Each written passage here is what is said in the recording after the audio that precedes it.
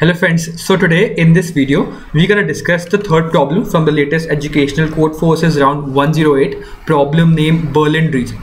So this problem uh, seems difficult at first but it's not too difficult.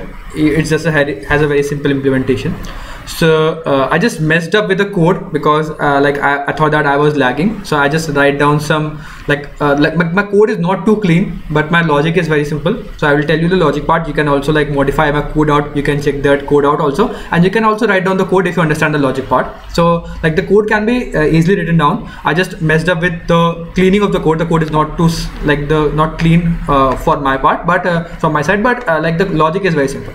So I'll go through the problem first. It actually states that uh, I'll tell you in simple terms. It states that there are n universities and then for every university like what they actually have given you that there are n students okay? And uh, I'll tell you in the example part also. As you can see there are seven students.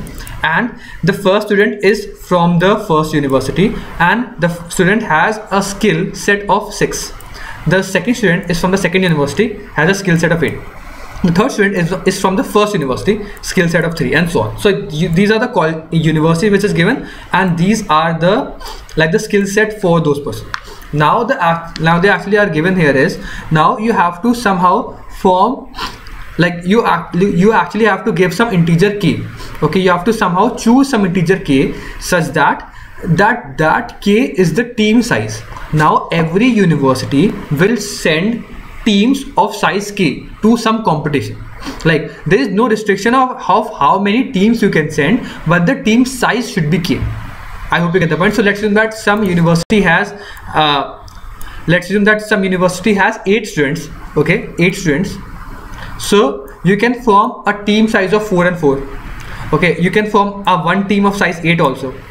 But and you can form eight teams of size 1 okay? But if you want to form a team of size 3 then you can form one team of size 3 another team of size 3 but now two students are left.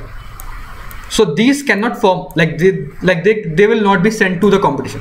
I hope you get the point. So two students are left out. So now they actually see that okay if the the students which are actually left out are the students which are having less capability. So as you can see every student has some skill set okay? Now if you have some skills or some students are given and you will form some team which will you will be sending to the competition. So obviously you will leave out because you know that two students will be leaving out. So you will obviously leave out the students which have less capability so that the two teams which will be forming of size 3 the two teams which will be forming of size 3 this is size 3 and this is size 3 like they have the maximum uh, capability. So now they're actually given in this problem is that for every k possible like k starting from 1 till 7 for every k what you actually have to tell is here is that if for every like if my student size or if my group size is equal to 1 or if 2 3 4 for all the numbers from till 7 if this is my group size what is the maximum score of the skills you can get at the competition? So as you can see i'll tell you in simple terms. As you can see if k is equal like as you can see in the first example there is only two types of university one and two. Okay? So you can like somehow uh, like segregate out the like the students in this university. So as you can see in the first university the students are of the capability 6 3 5 and 5 and in the second university is 811 now these are the students at these universities okay? Now if you want a group of size 1 then obviously this university will send all the students of size 1 and this will send all the students of size 1 so the total strength at the competition is summation of all of these. If you said that I want group of size 2 then this university will send these two students these two students and this university will send these two students. This student is left out because that has the less power or less capability. So this is a total which is like the total of this minus 1 so as you can see this is 28 so if this is 29 this is 28 because 1 is left out. If the group size is 3 then obviously you will pick out these two students and you will pick out these three students if the group size is 4 then you can pick out these students but because the size of this is 3 you cannot pick out. So that's the whole problem now. I hope you get the point. So you just have to tell that what is the maximum score at the whole competition. Now uh, first what you can observe in this problem is first you have to segregate out all the students according to their universities. The first thing is there. The second thing when you segregate out all the students then what you can second thing you can observe is I always leave out the students which has the less capabilities out. So you can sort them out. Okay. So you can somehow sort the students out so that you can know that okay, if I want to leave out one student, then I will leave out the last student. If I sort down in the like increasing order, then if I want five students and this is of size 6 then I will leave out the first student if I want a size of size 4 I will leave down the first two students and so so on so it means that I want the submission of all of these students all of these students like or maybe you can assume that this is some so after sorting out you have like these are the capabilities at the university. So th like maybe there are five students so the, these are the capabilities which is like after sorting out it will become like this uh, like six eight nine 9 10 these are the capabilities after sorting out. And if you want let's assume five students so you will pick out all the five students in the group. If you want four students then what you'll do you will leave out the student. So it means that you have if you know the summation of this whole then you can just subtract out the first element. Because you don't have to subtract like calculate the summation of all this again and again. So it means that you, you also require prefix sum. If you have prefix sum and this is sorted out then if you want if you want that I want to leave one student. You just take the summation of all the students which is like the last element minus the first element. If you want the like if you want that I don't want two students out. So just two students out. So the summation of the whole array which is this minus the last two elements which is this. So you can just easily do this in O of 1 okay? So just have to calculate the prefix sum for everything. So the simplest thing can be first segregate all out all the students then for then sort them out then find out their prefix sums. After finding out the prefix sums then you just have to do the same thing out okay so uh, let's assume that this is the students out in the university. So then you will iterate over every possible university. And what you'll do you'll do the you'll do the simplest thing. You you know that i want a group of size 1 so you will make an array for every possible.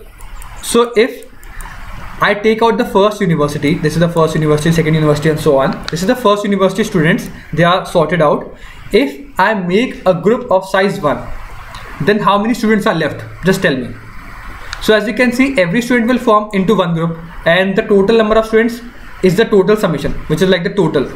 So that so if k is equal to 1 the answer is the total sum of this array which is like the last element. So you, you just put down there x1 if I make a group of size 2 and this is let's assume like this is of size 6 okay? Then uh, okay? Then also you can form out two two pairs and then also if you form out two two pairs I hope you're you're still with me. So you have an array which is sorted out. You have prefix sums. And now if you have prefix sums and you want that if I have a group of size k equal to 1 then like what is the if I have k equal to 1 what is the maximum like skill set this university is sending to the competition? What is the maximum skill set this university is sending? It will send all the students because every student can form a group of size 1 and thus you can add the total to this which you can form out using prefix sums. Fine. Now if k is equal to 2 if, how many groups you can send of size 2 I can send all the students. As you can see I can group them. So the total power or total strength you are sending to the competition is again full which is like the whole group. If you have x equal to 3 then also you can send the whole group into size of 3 so how you are finding out that how many groups you can form and you can form that the groups you can form is actually the total size of this mod k. Because k is the total groups. Like you can form one group here one group here. And whatever is the modulus left will give you how many elements are not taken. So i'll tell you in simple terms it states that if you have six elements six uh, people in the group and k is equal to 1 you will do k like 6 mod k equal to 0 which means that you can form six groups.